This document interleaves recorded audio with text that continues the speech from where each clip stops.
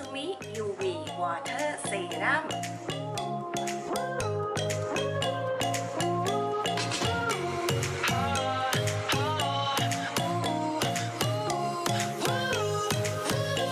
สวัสดีค่ะพบกับพี่นานาอีกแล้วนะคะในช่อง 40 วันนี้พี่จะมารีวิวผลิตภัณฑ์ในรูปแบบของกันแดดกันบ้างค่ะ ซึ่งก็แน่นอนว่าเป็นแบรนด์ที่เหมาะกับคนที่เป็นผิวแพ้ง่ายนะคะ นั่นก็คือของมิซูมิตัวนี้นั่นเองค่ะคำเคลมของเขาจะเป็นอย่างไร เหมาะกับคนผิวแพ้ง่ายขนาดไหนพร้อมแล้วต้องไปดูในคลิปนี้ค่ะ ส่วนของชื่อเต็มของเขานะคะ เดี๋ยวพี่ใส่ไว้ให้ซึ่งเน้นย้ำว่าลงท้ายด้วยร้อยเปอร์เซ็นต์นะคะนอนเคมีคอลตรงนี้นั่นเองนะคะ แสงอาจจะเข้านิดหนึ่งนะ เขียนว่าร้อยเปอร์เซ็นต์นอนเคมีคอลเลยค่ะ เพราะฉะนั้นนะคะเขาปราศจากสารอะไรบ้างนะคะ ก็เช่น ไม่มีน้ำมันนะคะ ไม่มีพาราเบน ไม่มีแอลกอฮอล์ค่ะ ไม่มีน้ำหอมแล้วก็ไม่มีสีผสม อันนี้คือ 5 สิ่งที่ในนี้ไม่มีนะคะ ก่อนที่เราจะไปดูคุณสมบัติเพิ่มเติมนะคะของการแดดมิซูมิเดี๋ยวพี่ให้ดูเนื้อผลิตภัณฑ์กันก่อนเลยนะคะ เนื้อเขานะจะค่อนข้างนะคะ มีความนะเหลวเล็กน้อยนะคะ แล้วก็ซึมเข้าสู่ผิวได้ไม่ยากจนเกินไปนะคะ พี่ใช้ประมาณนี้นี่ก็คือเกือบจะทั้งหน้าแล้วนะคะ อย่างที่บอกไปเลยพี่ต้องสั่งขนาดเล็กมาทดลองใช้ก่อนนะคะ ถ้าใช้ดีแล้วค่อยไปซื้อไซส์ใหญ่ก็ยังไม่สายนะเพราะว่าผลิตภัณฑ์ในรูปแบบของ skincare เนี่ยเราก็ไม่สามารถ confirm ตัวเองได้นะซึ่งถึงแม้ว่าเขาจะเคลมมานะคะว่าปราศจากสารที่ก่อให้เกิดอาการแพ้เราก็ต้องทดลองใช้ก่อน ตัวนี้เนี่ยถามความรู้สึกนะคะ เริ่มต้นพี่รู้สึกว่าเนี่ยพี่ลงไปปุ๊บแป๊บเดียวนะคะ ซึมเข้าสู่ผิวหมดแล้วนะเพราะฉะนั้นถามความรู้สึกส่วนตัวเนี่ยความชุ่มชื้นนะในการเติมเต็มสำหรับคนที่มีปัญหาเรื่องผิวแห้งเนี่ยยังไม่เพียงพอนะจ๊ะแต่ในเรื่องอื่นเดี๋ยวเราไปดูคำเคลมนะคะ แล้วก็คุณสมบัติแล้วก็ประโยชน์เพิ่มเติมกันเลย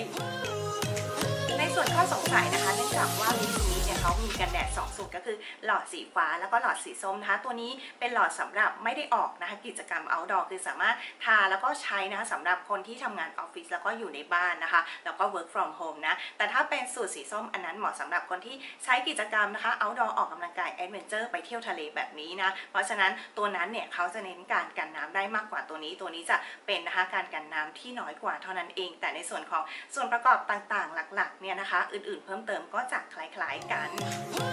เพราะฉะนั้นจุดเด่นหลักๆนะคะอันแรกที่พี่ ได้เรียนไปในเริ่มต้นเลยนั่นก็คือเขาปราศจากสารที่ก่อให้เกิดอาการแพ้ 5 อย่าง แล้วก็ผ่านการทดสอบการแพ้และการระคายเคืองมาแล้วค่ะ อันที่ 2เขาเป็นกันแดดแบบ non chemical sunscreen นะคะ ง่ายๆ ก็คือว่ากันแดดทั่วไปในท้องตลาดเนี่ยมี 2 รูปแบบคือ chemical sunscreen นะคะ แล้วก็ non chemical ค่ะ เอาง่ายๆ ก็คือรูปแบบนี้นะคะ เป็นรูปแบบที่เราทาไปปุ๊บ เวลาเราได้รับรังสี UV เนี่ยเขาจะสะท้อนกลับออกไปเลยนะคะ จะไม่ดูดซับรังสี UV เลย เพราะฉะนั้นก็จะค่อนข้างนะคะปลอดภัยสำหรับนะคะเราการที่เราออกไปออกแดดข้างนอกก็จะช่วยกระจายแสงแล้วก็ผลักนะคะ เจ้าความร้อนทางสี UV ที่จะมาทำร้ายผิวเนี่ยไม่ให้เข้ามาทำให้เกิดปัญหาเรื่องกระฟ้าจุดด่างดำแล้วก็ริ้วรอย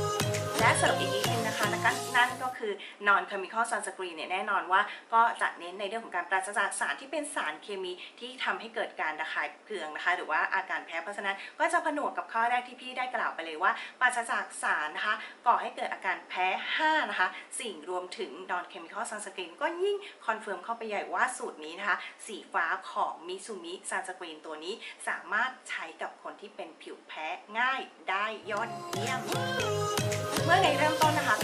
สอบนะคะ เนื้อผลิตภัณฑ์ให้ดูแล้ว แล้วพี่บอกว่าความชุ่มชื้นเนี่ยยังไม่เพียงพอ เพราะฉะนั้นนะถ้าคนที่เป็นผิวแห้งหรืออายุเยอะเนี่ยก็ต้องเน้นในเรื่องของการบำรุงโดยการใช้เซรั่มนะคะ ก่อนให้มากๆนะคะ แล้วก็ค่อยใช้ตัวนี้ปิดท้ายค่ะ แล้วก็ในเรื่องของกลิ่นก็อย่างที่บอกพอเขาปราศจากน้ำหอมเนี่ยเขาจะเป็นกลิ่นธรรมชาติของเขาต้องบอกแบบนี้กลิ่นธรรมชาติ เพราะฉะนั้นต้องเป็นความรู้สึกแล้วก็ความคิดเห็นส่วนตัวของแต่ละคนเลยค่ะ สามารถสั่งขนาดเล็ก แบบนี้ไปทดลองใช้ก่อนถ้าชอบกลิ่นนะคะ ก็ค่อยใช้ไซส์ใหญ่นะคะเพราะะฉะนั้นเหมาะกับใครแน่นอนเหมาะกับคนที่เป็นผิวแพ้ง่ายนะคะ ระคายเคืองง่ายค่ะ ผิวธรรมดานะผิวมันใช้ได้สำหรับผิวแห้งสำหรับพี่ต้องเติมนะคะผลิตภัณฑ์ในรูปแบบของมอยเจอร์เซอร์เพิ่มเติมเข้าไปอี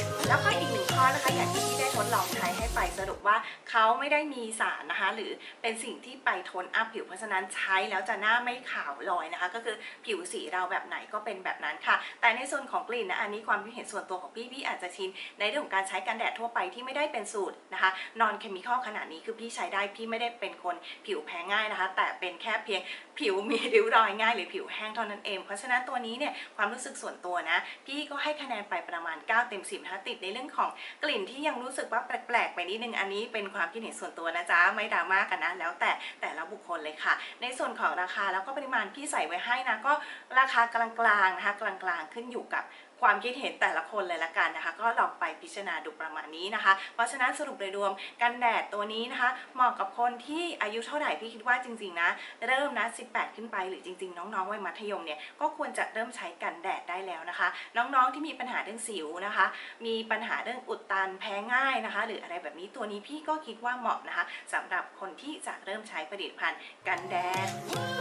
ในส่วนของกันแดดแบรนด์มิสมีเนี่ยพี่ก็เล็งมานานแล้วนะว่าจะทดลองใช้วันนี้ได้ทดลองใช้แล้วก็เลยมาแชร์กันนะคะเป็นหนึ่งความคิดเห็นและกันเพื่อประกอบการตัดสินใจสำหรับคนที่กำลังจะตัดสินใจซื้อกันแดดนะคะมาทดลองใหม่ ๆสำหรับช่วงฤดูร้อนแบบนี้ค่ะ แล้วก็ก่อนจากการนิยามทุกคลิปเลยนะจ๊ะว่า เป็นเพียงความคิดเห็นส่วนตัวของพี่คนเดียวเท่านั้นค่ะ ผลของการใช้ขึ้นอยู่กับสภาพผิวของแต่ละบุคคล เน้นย้ำให้ทดสอบอาการแพ้ก่อนการใช้ทุกครั้งด้วย